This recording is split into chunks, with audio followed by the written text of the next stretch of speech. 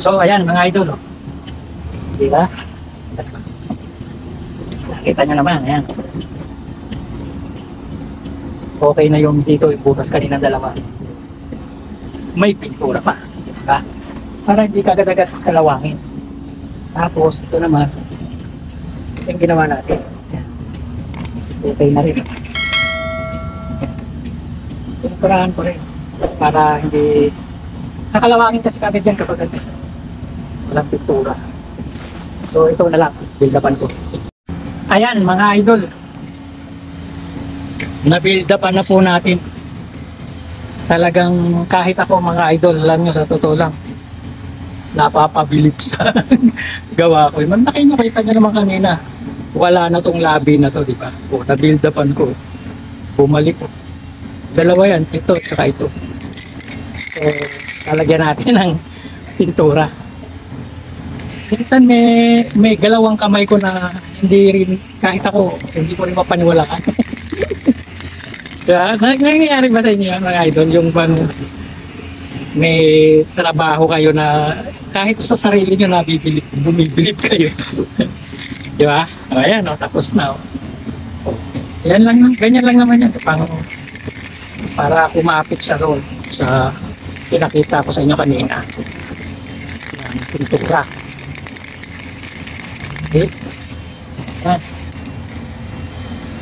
So, tapos na, mga idol.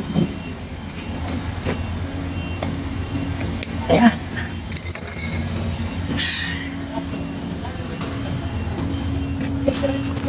Ay, nako. So, ganun lang kasimple mga idol kung may butas ang inyong muffler, kung may pero sa atin kapag may butas ang muffler, maingay, di ba? Normally maingay yan. At yan eh, may penalty yan kapag nahuli kayo ng ah, LTO, ng mga traffic enforcer kasi may mga city na ah, may ordinance na bawal yung maingay na tambutso.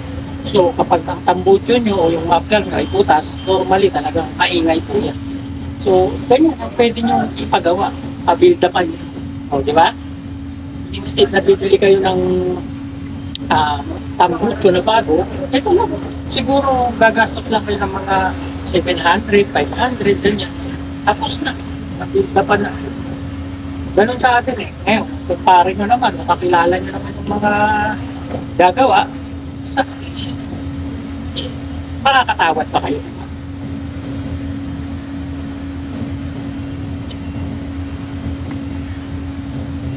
So, ganun lang mga idol. I hope na nakapag-share na naman po ako ng konting idea sa inyo. At muli, sa mga bagong makakapanood ng aking video ito, baka pwede nyo naman akong supportahan sa aking Facebook page na ito na Radiator Mechanic TV at gano'n na rin po sa aking YouTube channel na Radiator Mechanic TV. Ang sa gano'n, sa susunod na pag-upload ko, isa ka sa manonotify ko. Okay? At kung ikaw naman eh ah, creator din na kagaya ko at saka YouTuber, matik po yan. Ipapalo ba ko kayo at mag-subscribe din ako sa iyo. Okay? So maraming salamat mga idol. Hanggang sa muli po. God bless.